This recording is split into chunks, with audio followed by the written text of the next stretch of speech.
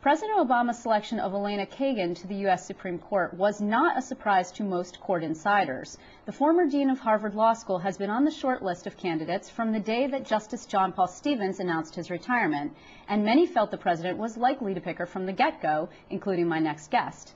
Vin Bonventre is a professor at Albany Law School. He's also the author of a blog, NewYorkCourtWatcher.com. And thanks for coming in, Vin. Good to be with you, Liz. So you're right, you win. Look at that, you predicted the whole thing. Well, two front runners, right, with Obama. Right, you were 50-50, so you didn't have very far to go. What is I'm sorry. 50-50? I was 100%. No, I know, but there were two front runners, and you picked the right one. Yeah, well, also there were like Merrick Garland, Diane Wood. There was also the uh, the fellow out in Montana, Sidney Thomas. I don't think he had much of a chance. Too much of a paper trail. So what was it about Kagan that made you think she was a shoe-in? Well, right off the bat, I mean, this woman's extraordinary. I mean, let's not mince words. This woman is extraordinary. You look at her education, you look at her career, this is top flight. Her education, Princeton, Oxford, Harvard, I mean, the great universities of the world. Her career, she clerked at the United States Supreme Court. She was dean of Harvard Law School. She's now the Solicitor General of the United States. How can you beat that? Well, well, wait, you could beat it maybe with some judicial experience, which she has none of. Don't believe that for a second. Every time we have a nominee for one of these high courts, whether it's the New York Court of Appeals or the United States Supreme Court, the talk is, well, how much judicial experience? Let me tell you, the best judges on the United States Supreme Court, like on the New York Court of Appeals, disproportionately are those that had no judicial experience or very, very little. United States Supreme Court, William Rehnquist, Earl Warren, Louis Brandeis, Lewis Powell, Hugo Black, Felix Frankfurter. You want me to go on and on? All men, incidentally. Well, now we have three women I on know, the court, and the it's about time. Yeah, she'd be the fourth. That's right. And the youngest, if she makes it through. Only 50, that's right. Well, which the expectation is that she's going to be fine, but there are some political problems. One is, well, I mean, to actually the president's credit, she doesn't have much of a paper trail that they can pin her on, which was Right. not the same for Sotomayor, correct? That's right. No paper trail, but uh, let's not be fools. We know darn well that Obama and his people know her positions on the big issues. Search Right. and seizure, uh, gay and lesbian rights, separation of church and state, abortion. They know what her positions are. Come on, and so do we. This woman is a liberal, no From doubt York, about it. No doubt. Isn't that wonderful? We have five native New Yorkers on the court. This must be driving the rest of the country crazy. Okay, but let's talk about that because that could actually come up during her confirmation, right? So part of the problem is she also has this issue with uh, military recruiters, which Right. the conservatives are having a total freak that's out right. about. So that's one problem. Also, the ultra liberals don't think she's liberal enough. That's right, and she may not be liberal enough for the uh, super liberals. That's okay. She's liberal enough.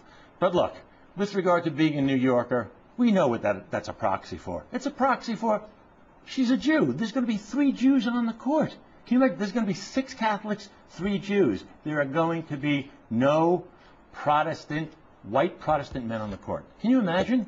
That is a, certainly a switch, right? It's amazing what has happened with ethnics in this country. All Catholics and Jews on the court. Okay, but th- by, by contrast, Sotomayor actually had sort of a built-in constituency, even among Right. Republicans, because right. she's a Latina. That's right. And yes, then the whole "why is Latina common?" and she had had some problems in terms of her statements. But however, what's the built-in constituency from some senator, a conservative from say the middle of the country? What's the incentive for that person to vote for her?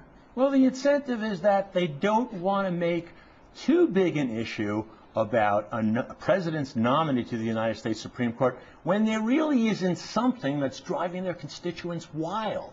You know what I mean? So usually you defer to the president, unless, of course, there's something really, really big, right? So, for example, suppose she had traveled over the weekend to Vermont and got married to a partner. I have no idea whether she has a partner. I have no idea whether she's gay or straight or what. But imagine she did that. That would be a big issue for the conservative Republicans to stand up, right, Right. and rile up their constituents.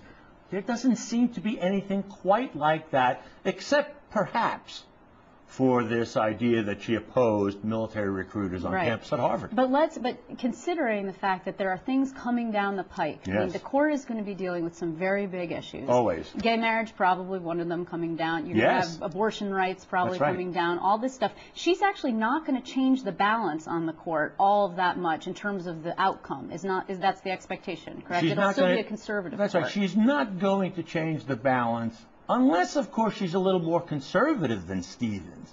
You know, especially on criminal law. We don't know exactly what her positions are on criminal law. We don't know exactly what her positions are on most things. But on criminal law, sometimes liberals are actually a little more conservative on criminal law, mm-hmm. and they're more liberal on, you know, the social, political issues. We really don't know.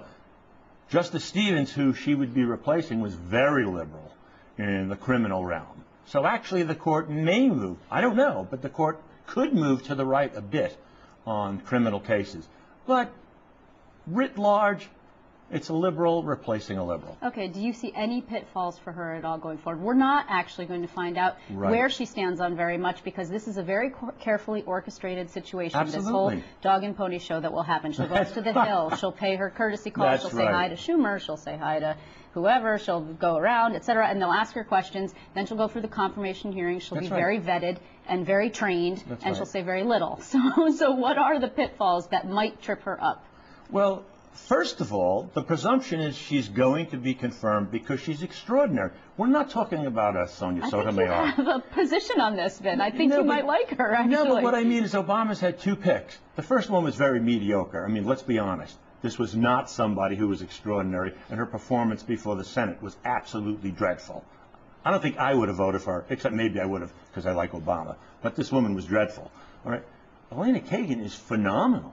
Wait, Sotomayor was dreadful? She was dreadful. It was the worst performance before the Senate that I have ever seen, and I follow these things religiously. Whoa. It was the worst. And yet she made it anyway, so the bar's pretty That's low right. then if you, if right. you agree with that. That's right. She made it anyway. Huh. I mean, the Dems had control of the Senate, so Right. she was going to make it. I mean, this whole thing about you know a wise Latina woman, this is ridiculous. Okay, but the, the, the atmosphere was different, right? Now we're going That's into right. We're a political year. That's right. The climate is different. That's right. So even though the bar might Obama's have been, weaker. Right, co- correct. That's so right. even though the bar might have been set a little bit low by Sotomayor during her confirmation hearings, this could be a little bit more troublesome if, in fact, you have some Republican senator who's feeling pressure. I mean, just in over That's the right. weekend, the Tea Party pushed out a guy in Utah. That's so, right. I mean, what might happen here in terms of the political dynamic? Right. But don't forget, the merit for Elena Kagan, and anybody who's being candid will tell you, there is no, there's just no comparison between the merit of Elena Kagan and Sonia Sotomayor. Elena Kagan is much, much higher.